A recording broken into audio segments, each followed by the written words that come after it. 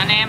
Thì à, chắc cũng có rất là nhiều anh em đang cần cái sản phẩm này. Thì đây trước mặt anh em đây là mình là cái à, sản phẩm à, đó là ngắt xăng rời. À cực kỳ nhỏ gọn. Rất là nhỏ gọn nha anh em. Ngắt xăng rời nha. Dành cho những anh em mà đang đi những cái bình lớn hoặc là xe đôm xe độ à, hay canh chỉnh xăng và hay là muốn ngắt xăng ra này kia thì việc trang bị cho mình trên một chiếc xe, một cái ngắt xăng rời mà tiện lợi như vậy rất là cần thiết nha anh em.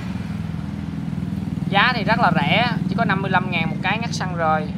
Cái này là hàng sản xuất đúc khuôn. Atimon nha. Chất liệu là Atimon nha. Nên là cực kỳ bền. Và một cái nữa là nó thiết kế rất là nhỏ gọn. Cũng như trên thị trường anh em mà như xài mà hay xài đó là xài cái ngắt xăng rời á. Nó rất là rầm rà là phải xài một cái ờ, cái thớt nhôm ờ, thớt nhôm tiện. Tiện rồi xong phải mua một cái khóa xăng quy riêng bình thường rồi lắp vô. Thứ nhất là cái đó thì ờ, đến tới thời điểm hiện tại thì nó chắc nó không còn phù hợp với cái thị trường mình nữa. Với lại là nó không còn được đẹp. Và mà không còn thẩm mỹ như cái khóa xăng này. Cái khóa xăng này nhìn rất là thẩm mỹ nha nè nhỏ, gọn nè. Đẹp, hàng đẹp, chi tiết sắc nét. Giá thì 55 ngàn một cái khóa xăng rời.